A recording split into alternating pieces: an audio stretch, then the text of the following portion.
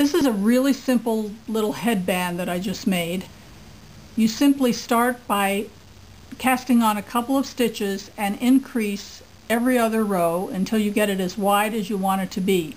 When you cast on, make sure that you leave a long enough tail that you can have something to crochet because we're going to use that at the end.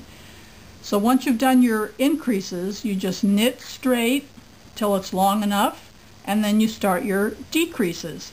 And again, you want to leave a long length so that you can crochet it. We're going to use these two ends to tie it onto our head. I added this cute flower. Watch my video on how to make the flower and you'll see how that works. So you can see how cute it looks when it's on. It's wide enough to cover the ears so it'll keep out that winter chill. It's elegant, it's cute, it's really fun. Have fun making it.